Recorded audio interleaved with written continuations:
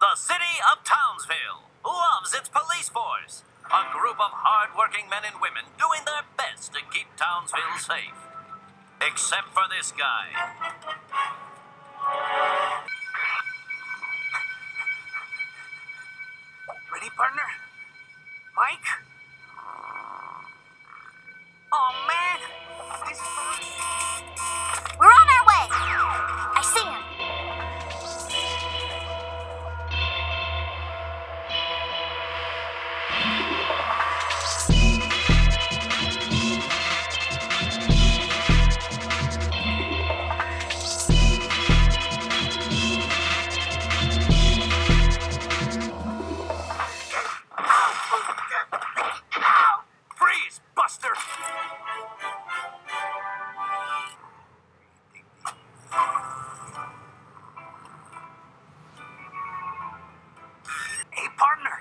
It.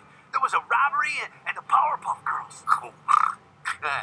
Powerpuff Girls? Hey, let me tell you something, Perez. Those girls are lousy, good for nothings. Oh. My office now. The promotion time. Hey, man. Don't man me. Sit down. So, what's up, Chief? You're fired, Brakowski. I want you out of here immediately. This is just another story of a good cop gone bad. You're not a good cop gone bad. You're a bad cop gone worse. Bad cop gone worse. Sorry, Officer Brakowski. No donuts in jail. So once again, the day is saved thanks to the Powerpuff Girls and the fine, upstanding men and women of the Townsville Police Department.